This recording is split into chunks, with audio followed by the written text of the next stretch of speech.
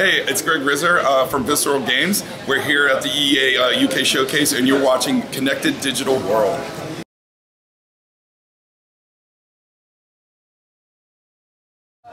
Right, so do you want to introduce yourself? Sure, my name is Greg Rizzer. I'm a producer at Visceral Games working on Army of Two, The Devil's Cartel. So tell us a little bit about the game.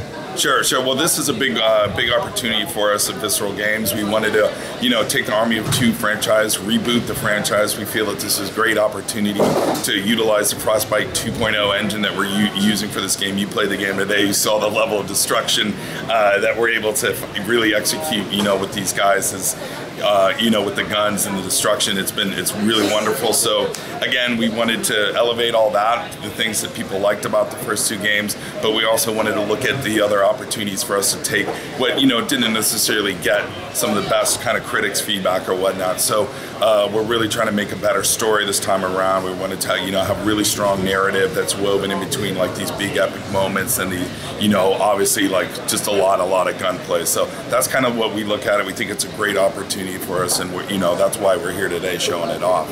So I take it the um, how can I put this stupid humour the previous game isn't in this one. uh, yeah, let's. I mean, yeah, they're, they're kind of like the frat boy stuff, you know, like the air guitar and all these kind of things. It doesn't fit. It doesn't fit with what we want to do here. We're telling a, a, story, you know, dealing with the Mexican drug cartel. It's grittier, it's darker, and we just didn't feel that with our new characters, Alpha and Bravo, who are new to the uh, two organization, we didn't feel that that would be appropriate for those characters. So again, we have a great opportunity to introduce these new guys, and we wanted to come out with the, you know our best foot forward. Of course, there's still going to be the camaraderie. There still will be the kind of things you would expect from guys that are kind of thrown into the you know into combat like this. So you know, buddy action blockbuster kind of is really what we're shooting for, but not the frat boy uh, stuff from the past. No. Um, and why the choice with different characters?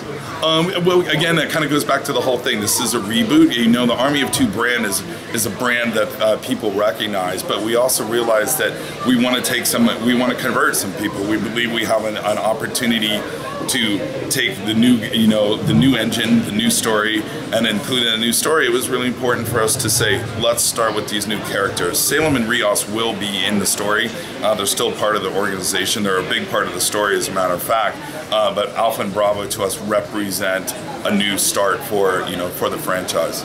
And what's the feedback been so far on the new? Oh, I think it's been overwhelmingly positive. I mean, at least that's what they say to my face, right? But uh, you know, the fact of the matter is, like, we've we've had the demo here for two days, and you know, the kind of attitude that we have is like we're just going to show everybody what we have to offer, and we let the game speak for itself. The guys that are back, you know, in Montreal and our other studios in Shanghai and and where everywhere that we're putting this this game together, um, take a lot of pride in this, and we believe that you know, this is our opportunity and uh, to show everybody and show the rest of the world that we mean business this time with, with this game.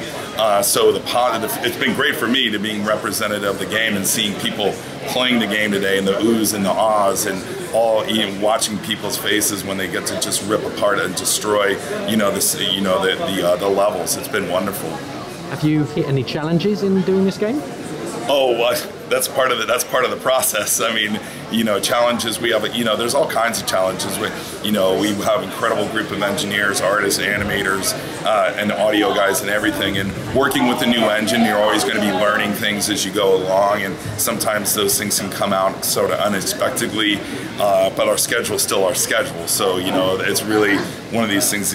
What the guys do back in the office, the guys and girls back in the office, what they do it's, it's, it's amazing to me. So yeah, it's an incredible opportunity. We know we have to ship March of 2013. So you know the challenge is just part of game development. So but we embrace it. It was it's you know it's our jobs.